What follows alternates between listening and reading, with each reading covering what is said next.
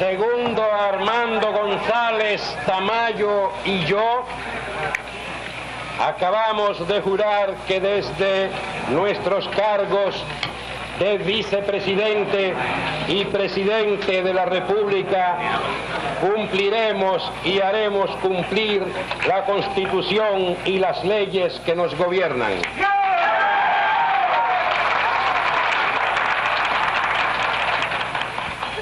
Y decimos con propiedad que nos gobiernan porque en una democracia no debe haber más gobierno que el de las leyes.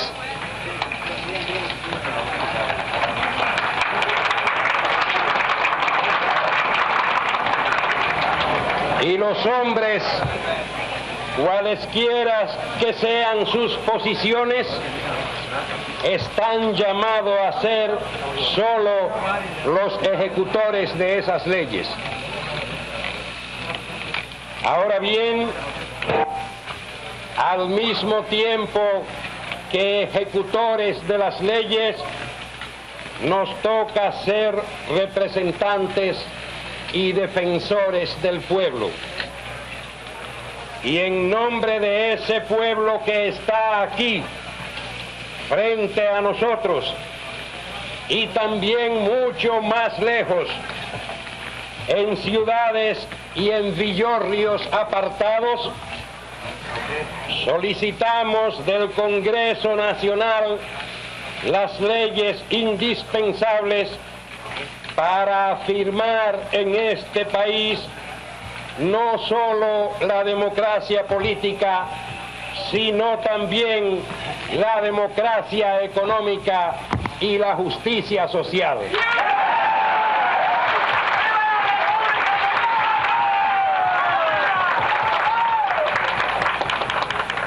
De ustedes, senadores y diputados elegidos por el pueblo, sean del partido que sean, el gobierno que se inicia hoy espera un trabajo continuo para darles a los dominicanos un puesto bajo el sol entre los países avanzados de América.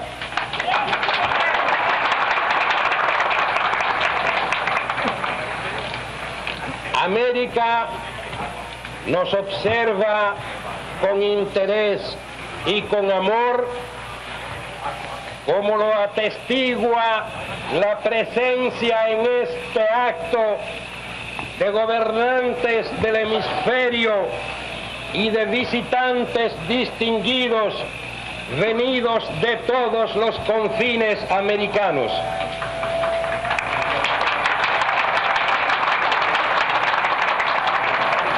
Nunca antes se habían reunido en la República Dominicana tantos hombres ilustres elegidos por sus pueblos para las más altas funciones de gobierno, tantos líderes de partidos populares, tantos representantes legítimos de la cultura continental. La feliz reunión de estos grandes señores de la política y del pensamiento, a todos los cuales debemos gratitud por el afán que pusieron en ayudarnos a ser libres, es solo una muestra de ese interés y de ese amor con que están mirándonos los pueblos hermanos del hemisferio.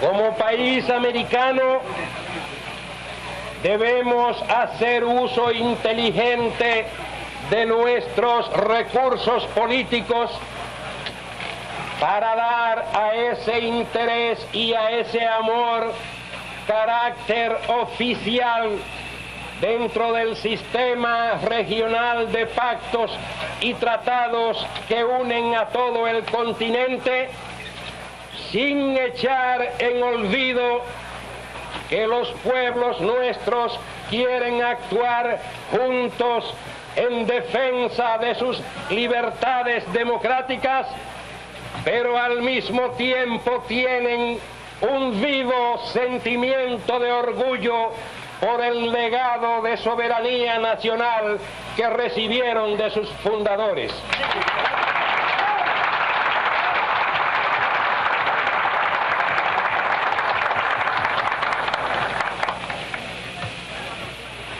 Como país americano, nos hallamos en el centro de la gran corriente revolucionaria que está sacudiendo al nuevo mundo.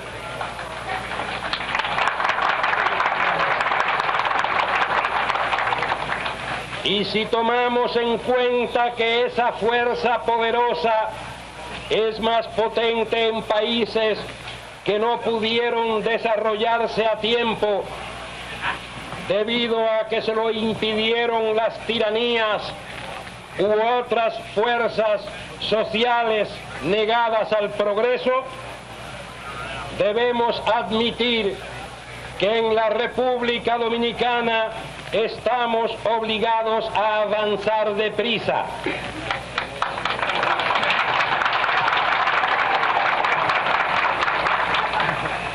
Tan deprisa como sea posible hacerlo sin salirnos en momento alguno de las normas democráticas.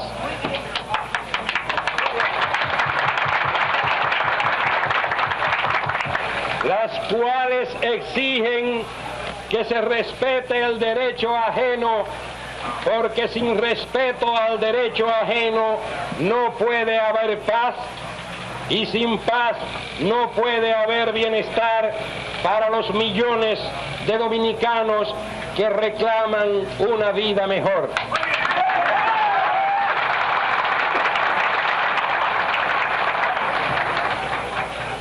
Nosotros deseamos la paz política y por eso ofrecimos... Siete meses después fue derrocado por un golpe de Estado que tuvo serias consecuencias en la vida democrática de la República Dominicana. Hoy se cumplen 60 años de aquel golpe de Estado. Yo agradezco a los ciudadanos y ciudadanas que pasan de los 70 años. Hoy he tenido comunicación con gente de 80 años. Me ha escrito un señor de 90 años. Muchísimas gracias porque estaba preguntando cómo recordaban este día y cómo se enteraron. Así que gracias por recordar ese día. El discurso completo lo estaremos subiendo a nuestra plataforma. Ustedes pueden entrar y verlo. Es necesario recuperar la memoria. Es bueno que la gente lo sepa. Y he preguntado a muchos jóvenes y la mayor parte de la población parece que nunca escucharon lo que dijo el profesor Juan Bosch cuando asumió su mandato. Así que después de escuchar solo una parte, vamos a irnos a la pausa y cuando regresemos vamos a conversar sobre una presencia en los barrios, sobre todo el Ministerio de Interior y Policía, nos acompaña la responsable de las políticas públicas de esa entidad en materia de prevención del delito en nuestras comunidades.